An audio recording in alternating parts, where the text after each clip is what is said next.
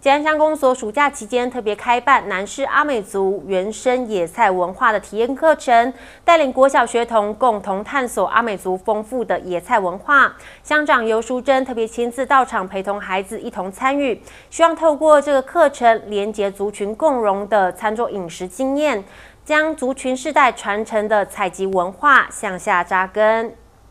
形状、色彩、触感、气味各异的野菜和种子，让孩子们充满好奇心。吉安乡长尤淑珍也特别以有奖征答，让孩子们趣味学习新知。这是吉安乡公所暑假期间特别开办的南市阿美族原生野菜文化体验课程，带领国小学童共同探索阿美族丰富的野菜文化。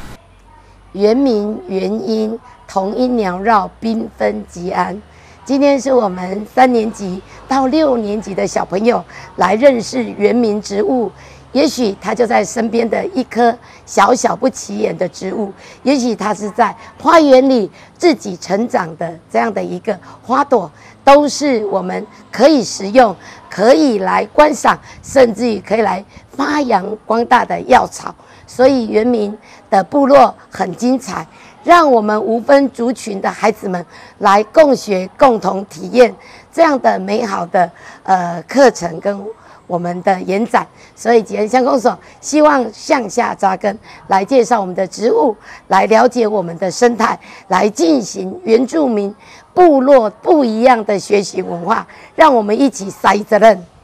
这次课程特别邀请到野菜教母吴雪月，还有经验丰富的导览专员，为孩子们开启野菜的缤纷世界，了解生活周遭野菜其实都是健康美味佳肴。同时带着孩子们走入农园，实地认识植株野菜多样性，还有过去老人家传承种子保种的农耕智慧。尤淑珍她期盼借由课程可以让野菜知识向下延伸，也带来多面向的原住民族文化内容，展现部落丰富的精彩体验。